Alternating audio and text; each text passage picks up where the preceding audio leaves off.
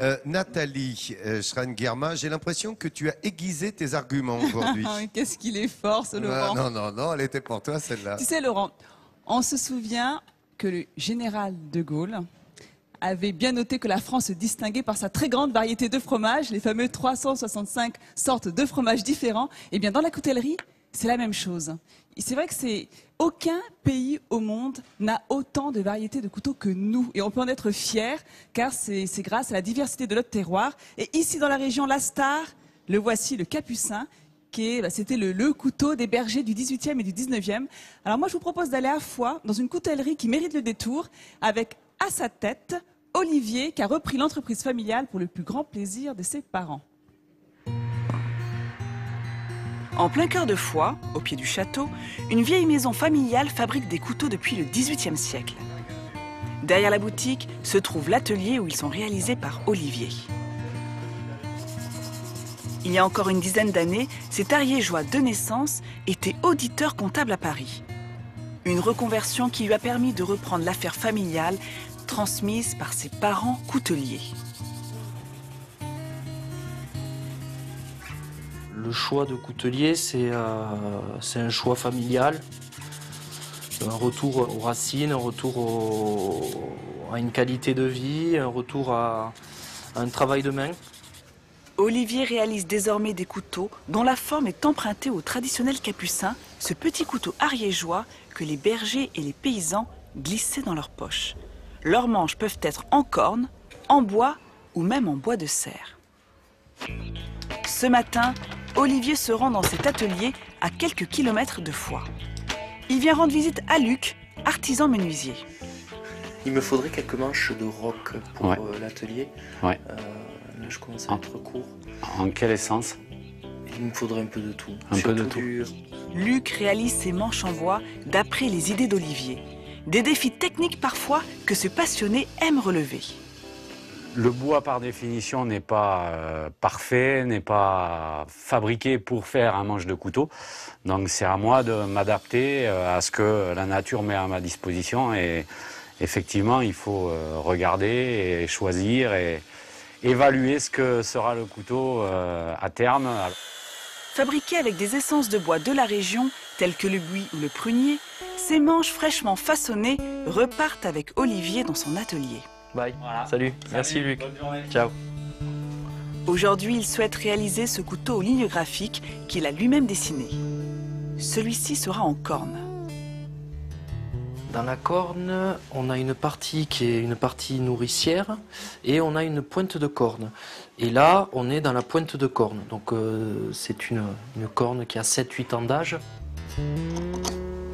Après avoir dessiné sur ce morceau brut la forme souhaitée, il élimine l'excédent de matière à l'aide de cette machine, le backstand. Le piège, c'est de- d'en enlever trop. Précision et même minutie sont de rigueur. Une fois cette étape réalisée, Olivier vérifie l'harmonie des lignes. On va enlever un tout petit peu plus de matière pour, euh, pour, pour l'affiner, qu'il soit un peu plus, un peu plus euh, précis, mais on est, on est très près du, du modèle final là. Voilà. Puis viennent le ponçage et le polissage pour donner toute sa brillance à la pièce. Arrivé sur le tard dans la coutellerie, Olivier n'en est pas moins passionné. Il y a beaucoup d'affect dans la, dans la coutellerie sur, euh, sur le couteau parce qu'on va partager euh, des moments de. de, de- de, euh, de- on va faire ripaille avec, euh, avec un couteau, on va aller en montagne avec des amis, on va casse-croûter. Olivier s'attaque maintenant à la courbe de la lame qu'il affûte avec le plus grand soin. C'est enfin le moment de l'assemblage. Ça va. Tester le, le serrage, il est bon. Voilà. Mais là, il est, euh, il est bon pour, euh, pour être vendu.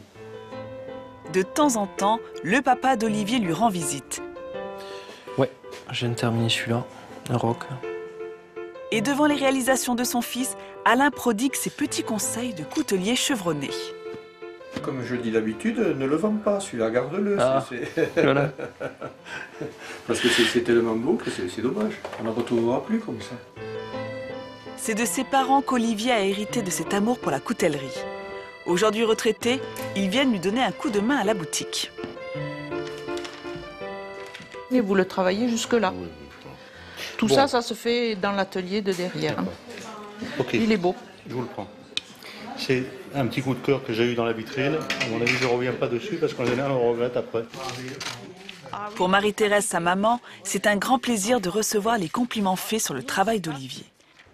Le bonheur aussi de voir la maison familiale reprise alors que rien ne le laissait prévoir.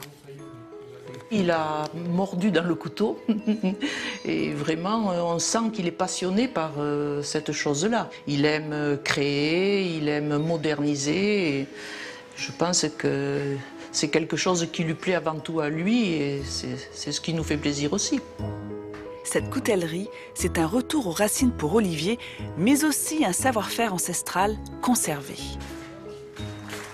Reportage extraordinaire. Et ouais, extraordinaire, un savoir-faire extraordinaire. Le savoir-faire, Ah. voilà.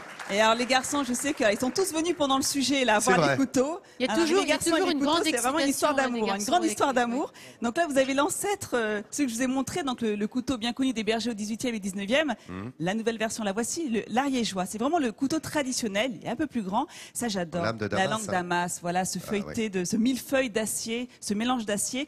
Alors pareil, ils se font plaisir sur les manches. Là, vous avez du bouilli, juste à côté du bois de serre. Alors je vous rassure tout de suite, hein, le cerf n'est pas chassé pour ça. On va ramasser Ah le ouais. bois. Dans, la, dans, oui. dans les bois, les ses cordes. doigts. Tu sais qu'il Exactement. mue, hein, chaque et année. il Il mue chaque année, tous les Ouais, ans. Et donc, on l'utilise pour faire nos manches. Et là, regardez, ça c'est joli aussi. Ça, c'est de la corne bovine Alors ça, a c'est taillé à la facetté. Comment c'est fait, dis-moi Il a facetté de façon à donner un relief un peu différent. Et là, la lame, tu m'as fait la remarque pendant le reportage, Laurent, eh ben, elle est polie ici et satinée là-haut. Donc là, vous avez une lame classique. Voilà, là, c'est vraiment, on a deux textures euh, mélangées. Et alors là, c'est assez marrant parce qu'il a biseauté euh, la pointe de son, euh, de, la, la- la pointe de son couteau parce que la, la- la forme classique du couteau, c'est une forme en forme de soge. Et donc là, hop, il a biseauté. Donc euh, la c'est des formes originales. Et voilà, il se fait plaisir en plus. Et voilà, il crée des formes nouvelles également. Alors vous savez que pour entretenir son couteau, Ouais, faut une il faut l'aiguiser. Ouais. Il se trouve que dans la région à Sorat, à 12 km de Foix, se trouve la dernière entreprise en France à fabriquer des pierres à aiguiser naturelles. Et pourquoi à Sorat? Parce que dans la vallée de Sorat se trouve un gisement de grès très fin et très pur. Ce lieu que vous voyez à l'image, avec André qui travaille, il a été créé en 1904. Il est chargé d'histoire. Alors s'il y a bien un élément qui est omniprésent dans l'atelier, c'est l'eau. Les machines sont constamment arrosées pour les refroidir, pour qu'elles ne chauffent pas au moment du travail. Pareil pour les pierres, il faut constamment les humidifier pour éviter que la pierre ne s'échauffe pas et qu'elle éclate pas à certains endroits. D'ailleurs, sans l'eau, on ne pourrait pas avoir des coupes aussi propres parce que ce serait impossible d'avoir une finition lisse. On aurait des, petits éclats. Et alors, autre chose encore, sans l'eau, eh ben, il y aurait énormément de poussière, donc ça serait euh, invivable pour les ouvriers sur place euh, euh, pour travailler. Ça serait juste impossible. Alors, vous avez vu la polisseuse avec laquelle il va donc travailler son grès avec des bandes abrasives pour avoir la finition lisse. Et là, c'est notre machine, on appelle la berceuse, pour avoir une, finition grainée. Alors ça, c'est marrant, c'est un gros bac dans lequel on met du gravier, de l'eau notre grès. Et ce- ce- cette berceuse, cette machine va, voilà, va balancer pendant une trentaine de minutes grâce à un système hydraulique. Et l'avantage de la pierre naturelle, Laurent, bah là, regardez le résultat final, Ouais. légèrement grainé. On le nettoie avant de le récupérer en plateau. Avec, euh, regardez, un fusil que je vais vous montrer. Regardez le fusil en matière naturelle, en grès naturel. Reconnaît bien. naturel, bois. Ouais. Non, c'est- tu sais quoi Ça, c'est du travail d'orfèvre, C'est du travail d'orfèvre. C'est la le dernière entreprise France en dont France on à le parle faire. dans cette émission. Voilà. Il propose toute une gamme. Tu peux, oui. Il y, en a pour les, cou- pour les couteaux, pour les sécateurs, euh, pour les faux. C'est vraiment, ils exportent encore un cinquième de leur production hein, un peu partout dans le monde. Et je vous l'ai dit, c'est la dernière entreprise à le faire. Et l'avantage d'utiliser bah, des matières naturelles, c'est que tu l'as vu, hein, tu viens de le tester, Vincent. ben, ça aiguise de manière parfaite, hein, ouais. Voilà, faut finement, faire attention. hein. sans, sans abîmer prématurément sa lame en acier. Voilà, donc c'est vraiment un très beau savoir-faire que j'avais envie de vous présenter. Alors attendez pour les femmes, et on n'oublie pas les femmes dans cette Alors, histoire. vas-y. On a même la Non, lime à la lime à ongles. ongles. La lime Lime à en ongles en naturel. Naturel, en grès Alors ça, les filles, ça, j'ai l'impression que ça va marcher sur Et- les demoiselles. Et hein. on va vous mettre les coordonnées sur notre page. Facebook Midi en France officielle. Les pour les garçons, les juraient Pour les femmes, les mimes à ongles. Ah non, mais c'est Voilà, une bonne Laurent. idée. Quelle C'est une très oui, Les instituts c'est de beauté entreprise en était Je le répète, mais c'est important. Important de le dire. Ils sont deux ouvriers à maîtriser ce savoir-faire en France. Eh ben, écoutez, coup de chapeau en, cou- en tous les cas. On voit le coutelier qui est derrière. Et oui, notre coutelier qui Coup est de venu nous faire un chapeau. coucou, c'est Bravo. vrai. Ouais. Félicitations. La c'est relève, les que- parents sont contents, vous l'avez vu dans le reportage, ils sont fiers, le fils est là. Mais oui, oui, c'est- non, mais c'est ils peuvent être fiers. C'est rare qu'il y ait autant de soins dans le manche que dans la lame. hein. Souvent, les, les couteliers s'occupent plus de la lame que du manche. Et là, Et là, euh, c'est le travail, qui est voilà, c'est un C'est le travail travail d'Olivier, voilà, qui prend plaisir à ça. Eh ben, c'est ça, Midi en France. Et vous montrez l'excellence euh, euh, de cet artisanat euh, français, particulièrement en matière de coutellerie. On vient de le voir à l'instant avec cette entreprise.